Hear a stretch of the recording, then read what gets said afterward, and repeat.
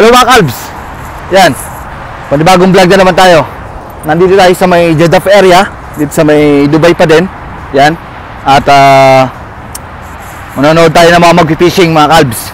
Napadaan lang kami dito kasi medyo dumaan kami sa may bangko muna. Si Kuya Weng eh nagbayad ng kanyang ah, nagbayad ng kanyang credit card. And ayun, nakita namin yung part na to eh medyo maganda at saka nakita namin nagfishing nga. Sabi namin tignan namin. Yan. At the same time gusto namin magpa-araw kasi maganda yung panahon malamig. Yan kung makikita nyo itong part na to yan continuation to ng dagat. Kanal ito kanal tong part na to. Yung part na yan is yung ah, Dubai Festival. DFC yan Dubai, Dubai Festival City yan yung part na yan. May mga Pilipino din dito mga kalbs ayun o mga nagpipishing din sila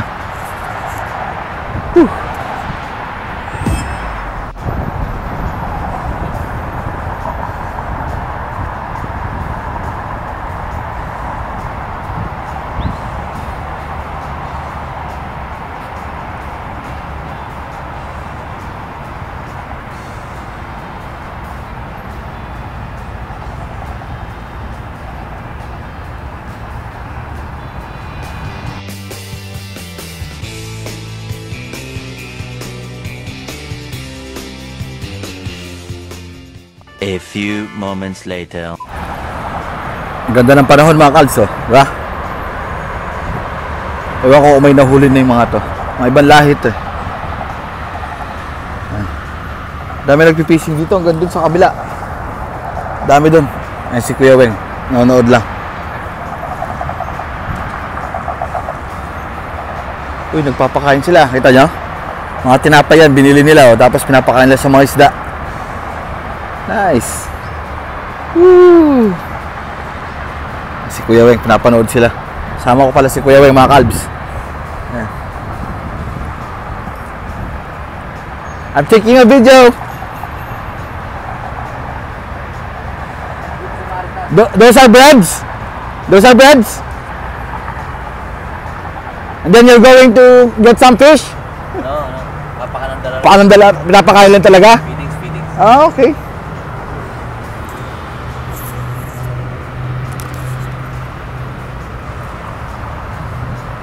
Hindi mo na ako ba One hour later. Ay, na-miss ako sa view mga kalbs. Yan. Actually, isang dahilan kung bakit kami nandito, si Kuya Weng kasi, samahan ko daw siya dito na, dito, siya kumuha ng clip. Yan. dito siya kumuha ng clip na para i-guilt niya ako na monetization para may add ko dun sa ini-edit ko. Yan, nakwento ko naman sa unang vlog ko, nag-edit ako sa lukuyan nung sa greetings sa akin. And ayun. Kaya napadpad kami dito. Ah, grabe oh, ang ganda oh, di ba? Nakaka-relax dito mga kalbs. Yan. At saka yan, ayun, mga barko-barko nandyan, no? Sa part na yan. Creek kasi part na to eh. Creek na to. Kala lang sa may dulo pa doon. Marami pa yung mga yate-yate dyan, tsaka mga park, eh, ay mga ano, mga bangka-bangka din. Yan yung nakita nyo yan mga kalbs. Yan ang isa sa mga gusto ko puntahan na building. Yan yung normally tinatawag ko yung Big Falcon ng Voltes 5. Kaso di pa ako nakapasok dyan. Ang sabi nila, yung building na yan eh library.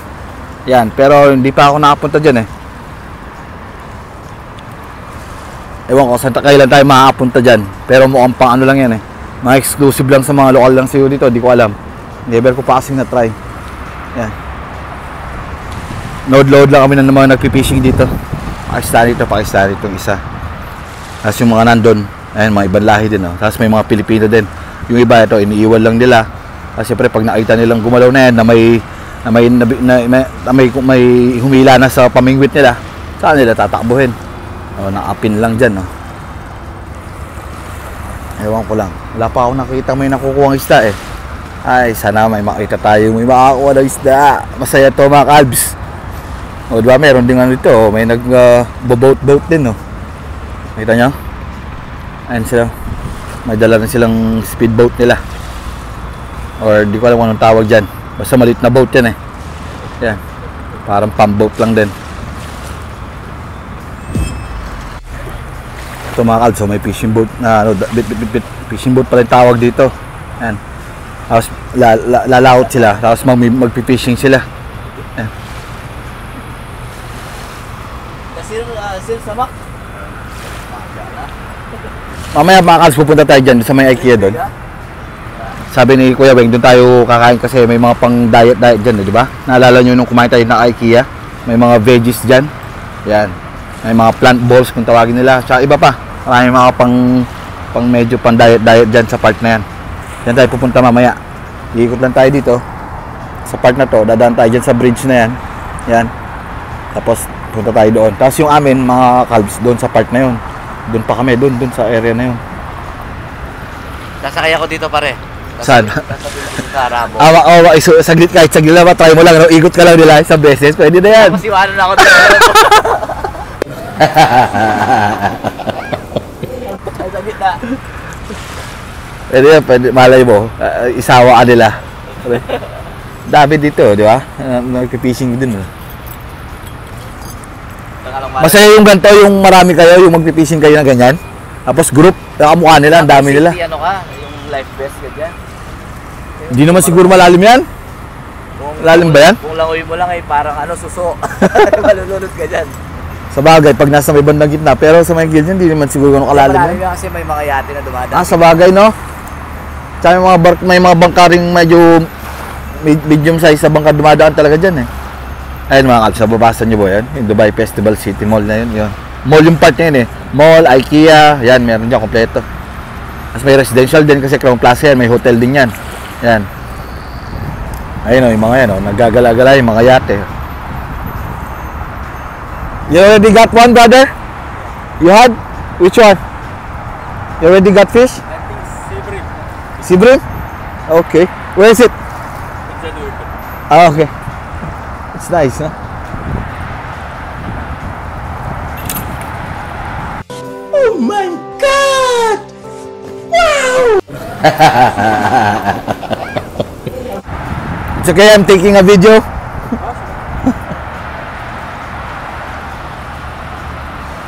How long have you been here? How long have you been here fishing? Oh, really? nice.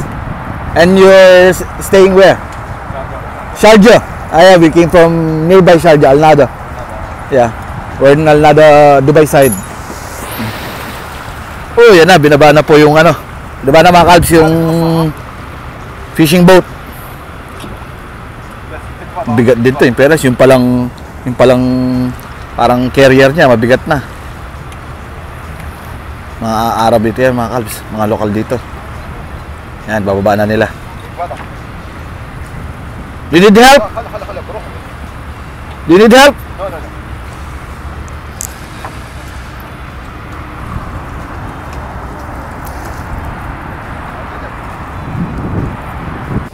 Ayan, si Kuya Weng, tinulungan na niya mga kalbs.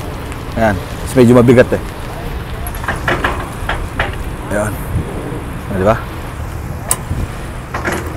May trailer pa silang bit-bit. Ayan, pinapaandar na yung fishing boat. Kung di ka persado dyan mga kalbs, di mo rin basta-basta makapapala- papalaro yan. Ah, sanay na sanay na sila. Lagi siguro sila nagpipishing dito na. Gusto mo lumangoy pare? Sabi niya nga, sasama. Nga, sasama daw niya ako eh. Ah? Oo, bakit? Tingnan mo. Sige. Sana all. Mga local dito yan. Ah, dahil mababait na lokal dito, mababait lang. Basta marunong mo lang, ah, tawag ito, alam mo lang sila kausapin mga kalbs. Marunong ka lang mag-approach sa kanila. Yan. Kasi hindi sila madadamot eh. Pero yun nga lang, syempre pag yung nakita nila parang nababastos na sila, o yung, lalo na yung may mga kasama silang family nila na! Eh, ayaw na ayaw nila ng ganun. Lalo pag tinititigan mo sila sa mata, ayaw na ayaw nila yun. Yun yung isa pinakabawal dito. Eh,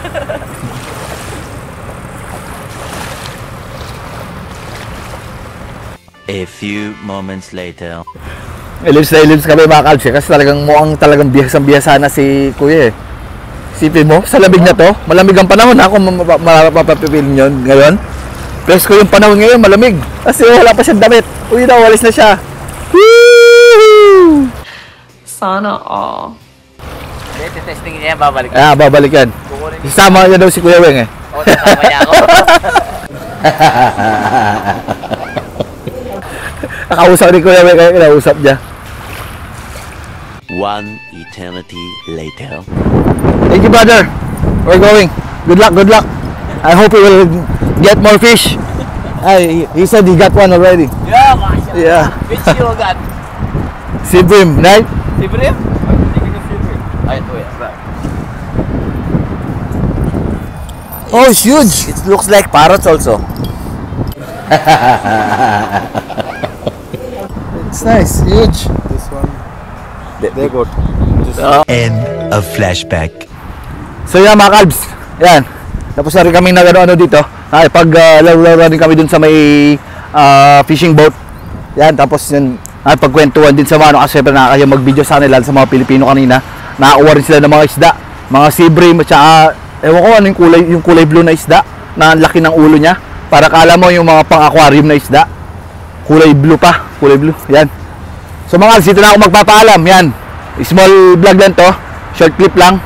At ah, para lang makita kayo ng ibang view dito sa Dubai ulit na yan first time ko rin makita makapunta sa mga ganito yung mga nagfi-fish. So mga kalbs paalam na! Maraming maraming salamat sa mga nanood and sa mga mahilig mag-fishing dyan.